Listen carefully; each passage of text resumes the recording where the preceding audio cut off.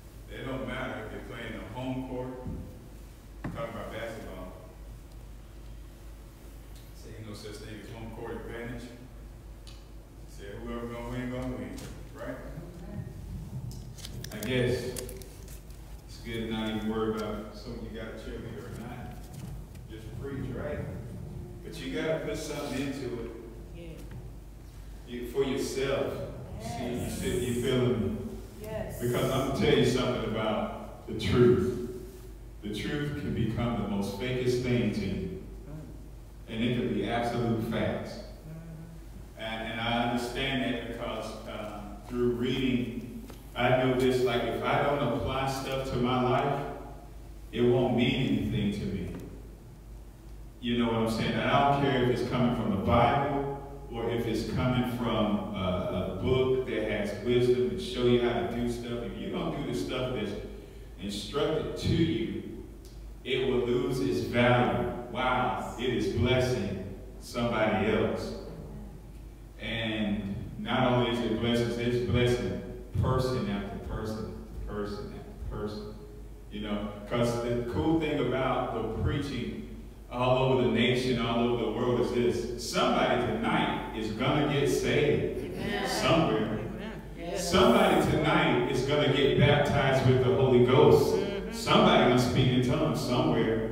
Somebody's going to receive divine healing. Somebody's going to change forever. Forever. They will never be the same again after Amen. they hear the preaching of the word somewhere. Amen. Somebody's going to change. God is going to raise up a preacher somewhere tonight.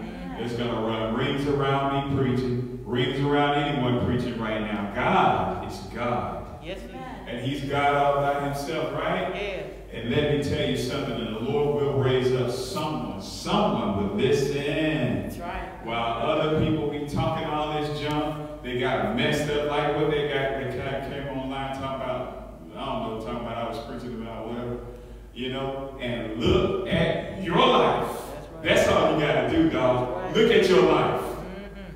You're sinful, ungodly. You don't even know why you hurt. You don't even know why you in pain. You don't even know why your girl don't like you. Your children don't like you.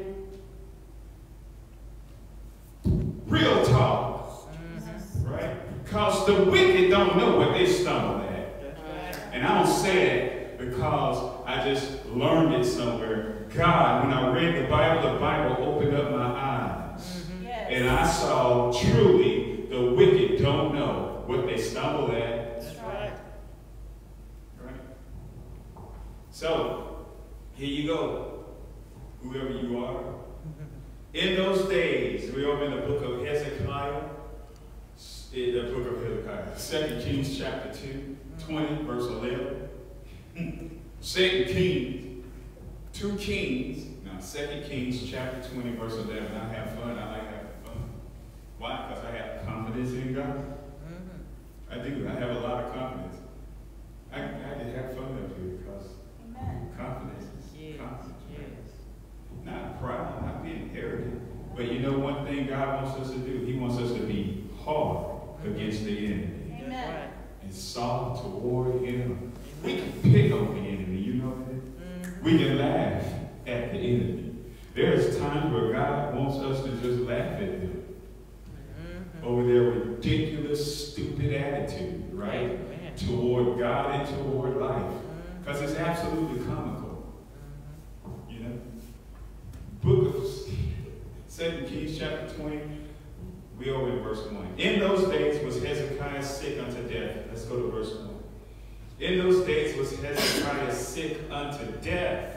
And the prophet Isaiah, the son of Amos, came to him said unto him, Thus saith the Lord, Set your house in order, for thou shalt die and not live. Ain't that something? That came from God. So the Bible said, Then he turned his face to the wall and he gave up. Because God said I was going to die. No, he didn't say that.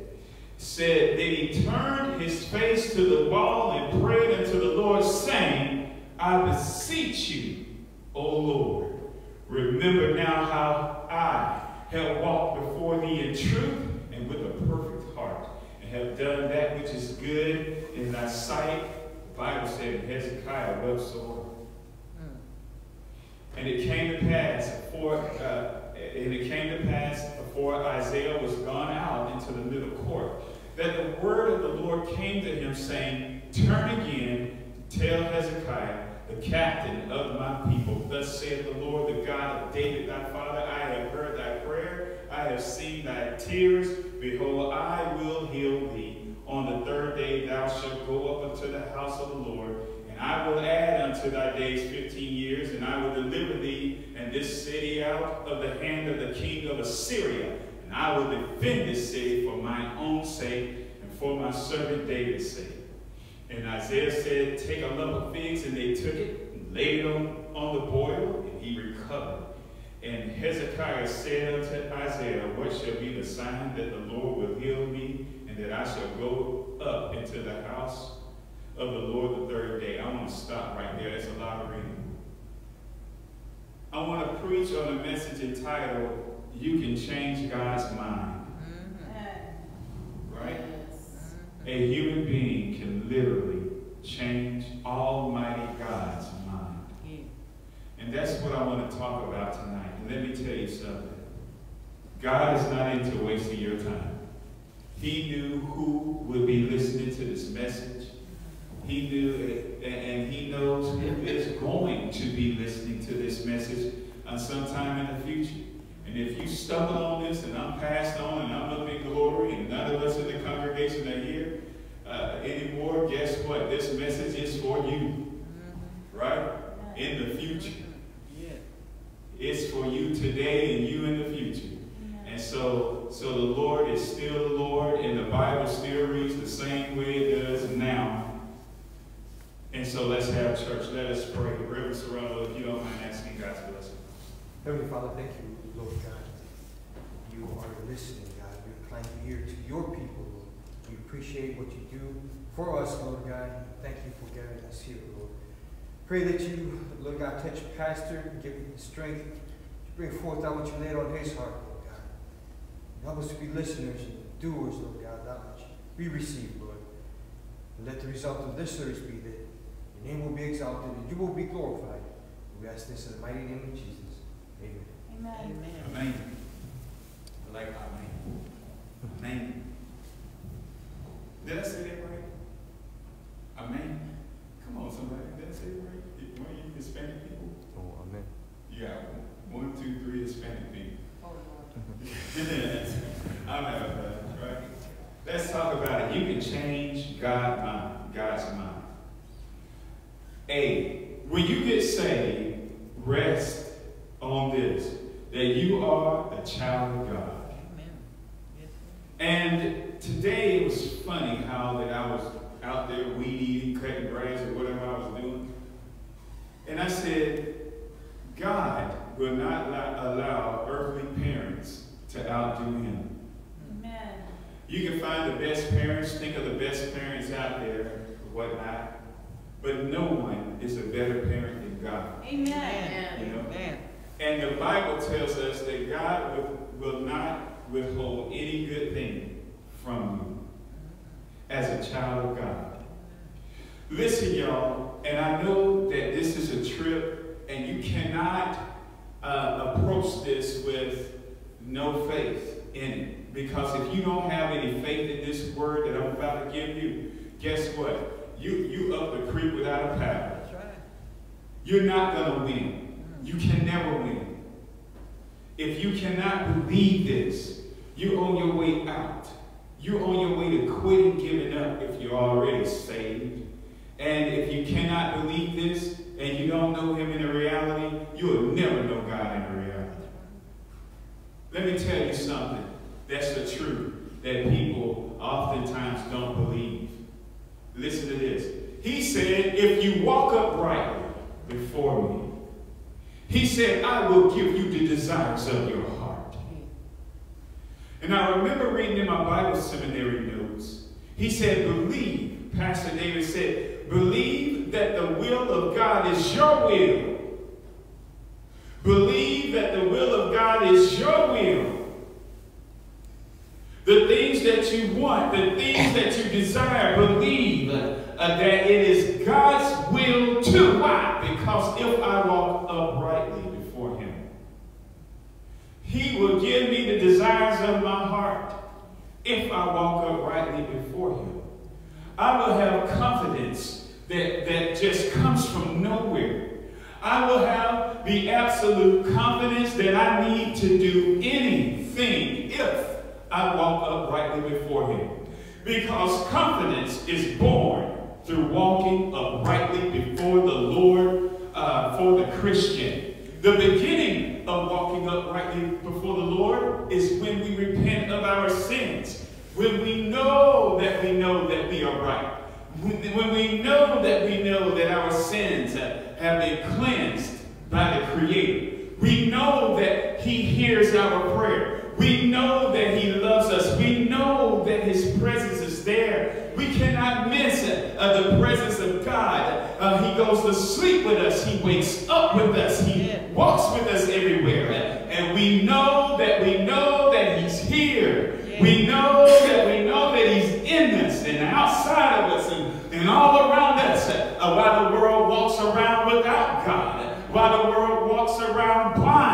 we are able to see and we are able to understand His will. And, and because we started walking uprightly before God, and we need to continue to walk right uprightly before God so that we can have confidence. You can't have confidence living in sin. You and I can't have confidence telling lies. We cannot have confidence stealing. Uh, we cannot have confidence uh, uh, doing things that does not coincide with the Word of God. We cannot have confidence if we don't keep uh, the Word of God. But Hezekiah had confidence. Why? Because he kept the Word of God. Amen. So now Isaiah comes over to him. The prophet who is known as a true man of God. No question of who Isaiah was. And Isaiah came up to Hezekiah and said, Get your house in order. Because he said, he said right here, get your house in order. For you, for thou shalt die and not live. He said, Thus saith the Lord. Now let me tell you something, brothers and sisters. God don't tell lies. If God says you're gonna die, That's right. you're gonna die. Amen. Yes, you will. Right? The Bible tells us that God exalts his word above his name. He exalts his word. His word is above everything. What God is saying is this if my word is no good, then I'm no good. But the word of God is good. We know that the word is good because when he said, Let there be light, God said, It is good. Yeah. Then I think that, if I'm not mistaken, as he kept speaking stuff into existence, the Bible said, and he saw that it was very good. God's word is good. Yes. Amen. It is. He said, if you walk uprightly before me, he said, God is a sun and a shield, right? Mm-hmm. If a man walk, if you walk uprightly before me, I'll give you the desires of, of, of your heart. God is not a liar. That's right. Okay, Hezekiah knew how good the word of God was at this time. He knew that God's word is good. But Hezekiah was a man that walked with God. He was a man that walked with God and he knew that I can come to him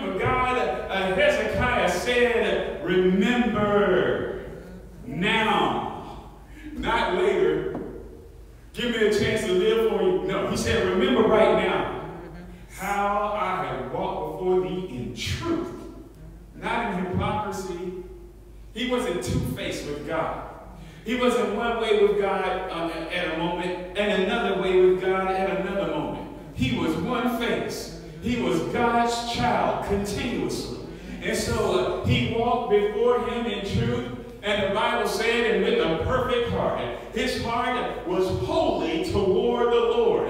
His heart was perfect before God in this that he kept the word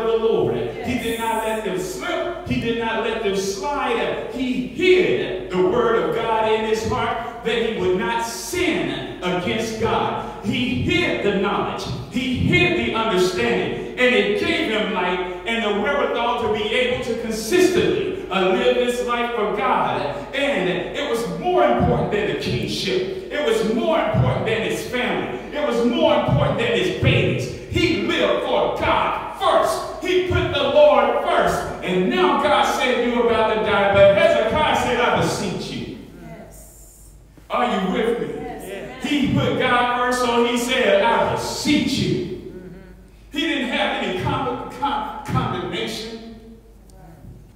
Was scared that he was going to die only. That's it. But all he had, all he did was say, I beseech you.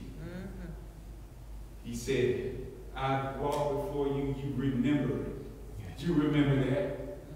Because you know all things. I definitely remember. and with a perfect heart and have done that which is good in not my sight, in your sight. Are we able to do that which is good in God's sight? Have we been doing that which is good in God's sight? All right. You know what I'm saying? We got to live before the eyes of the Lord. That's right. Right? Not before our own eyes, Yes. not before our wife's eyes, not before our husband's eyes, or whatnot. We got to live before the eyes of the Lord. When God sees our life, uh, uh, the Lord should be